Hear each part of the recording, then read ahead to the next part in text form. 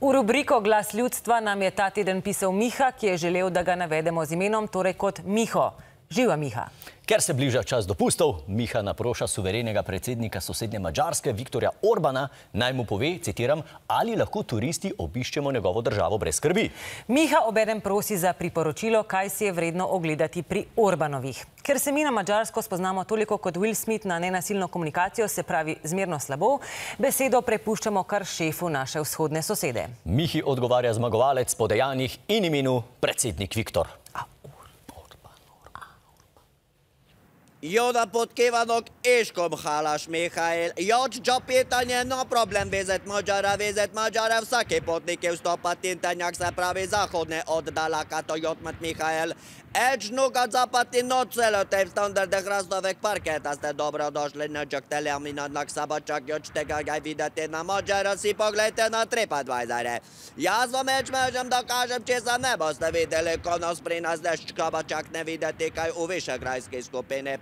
Jočte ne boste videli, kaj se odreza na konflikt s Polsko in Češko kot stabačak, če boste eni strani podpiramo ukrajinski atak, po drugi strani podpiramo nizke cene ruske nafte, no k ukrajinski atak, jo to ne obstaja, ne boste nič čitali, ne boste potem, ne berite naših uravnoteženih magazine, juč ne čak naših, mislim tudi vaših tek magazine.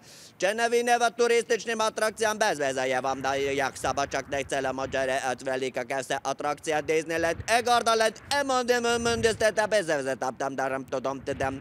Tam boste lahko videli samo, kažem bi lahko bil svet na Mađare, vidite, kažem svet bo.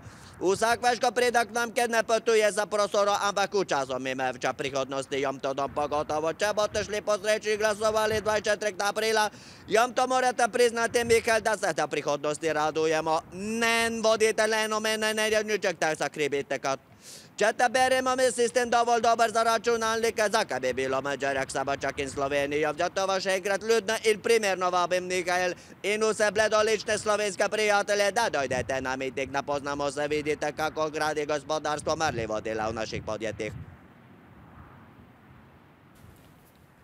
Subscribe se, subscribe se, subscribe se, subscribe se! Koga čaka? Subscribe Tá coisa e subscribe!